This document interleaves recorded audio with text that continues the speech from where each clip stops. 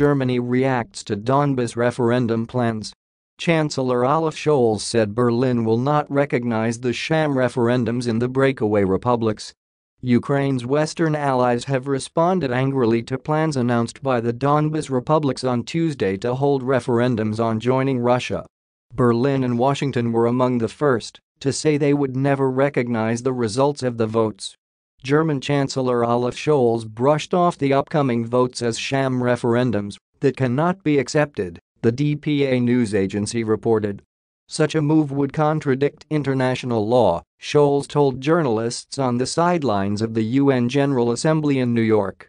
Earlier, the U.S. said it will never recognize Russia's claims to any purportedly annexed parts of Ukraine.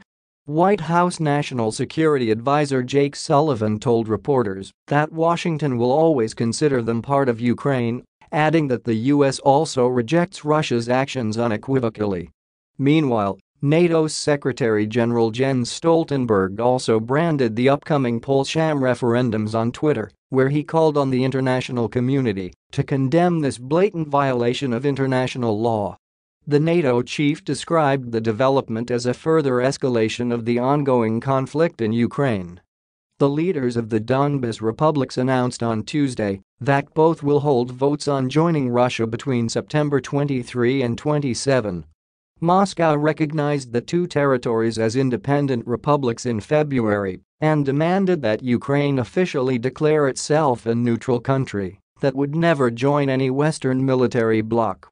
Most of the world still regards the territories as parts of Ukraine, however Kiev lost de facto control of both in 2014 when the local populations rejected the outcome of the Western-backed Maidan coup Russia sent troops into Ukraine on February 24, citing Kiev's failure to implement the Minsk agreements, which were designed to give the regions of Donetsk and Lugansk special status within the Ukrainian state. The protocols, brokered by Germany and France, were first signed in 2014.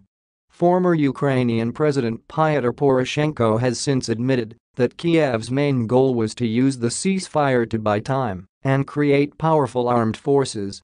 Kiev insists the Russian offensive was completely unprovoked.